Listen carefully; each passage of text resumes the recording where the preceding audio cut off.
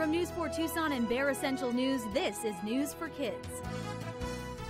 In May, the Reid Park Zoo announced that their Malayan sun bear had died. Female sun bears have a life expectancy of 23 years. Trisena died at 34, making her the oldest of her species in captivity. In 2001, Trisena was moved from Fresno, California Zoo to the Reid Park Zoo. In the last few years, her eyesight started to fail, and she spent most of her time in her den. With the continuing decline in her condition, the extremely difficult decision was made to euthanize her. Trisena will be missed. This is Louisa Collins from Grijalva Elementary mm, for Bear Essential News.